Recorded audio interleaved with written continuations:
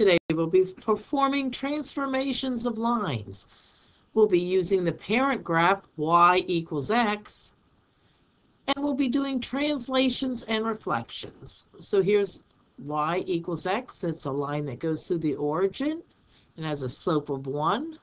So it's really y equals 1x plus 0, but when we simplify that, we just call it y equals x.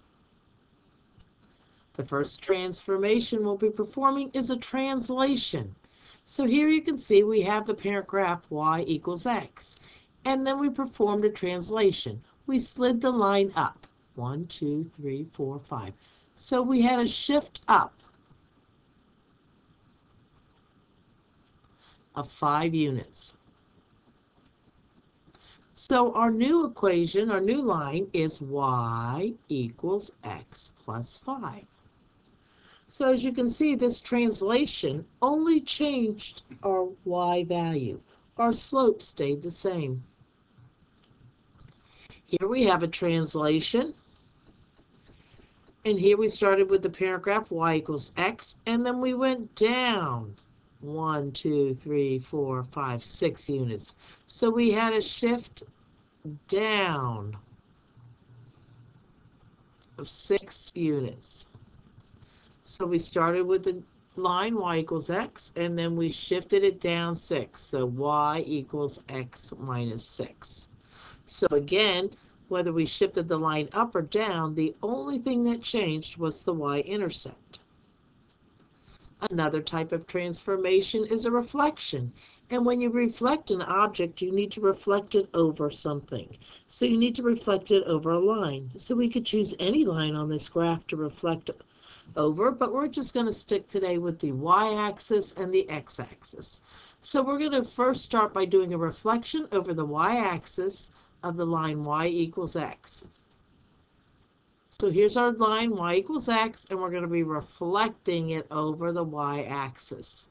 So let's visualize what that would look like here. if I were to reflect this portion of the line over the y-axis, it would go over this way. And if I were to reflect this portion of the line over the y-axis, it would go that way. So this is what I'd end up with.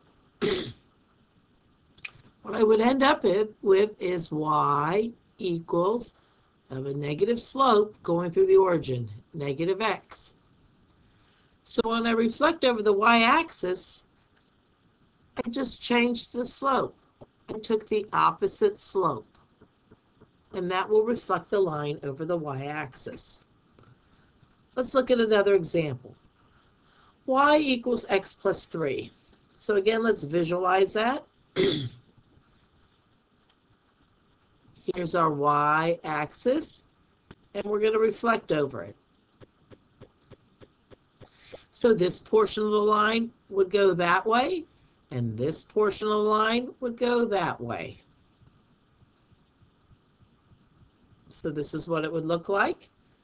So again, the only thing that changed was my the sign of my slope. I started with y equals x plus 3, and now I have y equals negative x plus 3. So again, opposite slope. So the only thing that changes with a reflection over the y-axis is the slope. And our final transformation today is a reflection over the x-axis. So here we have the parent graph y equals x, and here's the x-axis. And when I go to visualize that, like I did before, well, this part, this part would be reflected here, and this would be reflected there, and I'd end up again with y equals negative x, which I did with the y-axis, but that's really not a good example for me to get a rule out of. So let's look at another graph so we can really get a rule for the y, for the x-axis. So here we have the equation y equals x plus 3, and we want to reflect it over the x-axis. So let's visualize what would do that, what that would do to the line. So this portion of the line would go that way, and this portion of the line would go that way. So our first line would be x plus 3. Well, when we reflect it over the x-axis, the slope changed and the y-intercept changed. So instead of having y equals x plus 3, we have y equals negative x minus 3. So when we reflect over the x-axis, both the slope and the y-intercept change. So let's um, re recap what we've looked at today. We first performed translations. We shifted the line up or down. And when you do a translation, the only thing that changes is the y-intercept. We reflected over the y-axis. And when you reflect over the y-axis, the only thing that changes is the slope.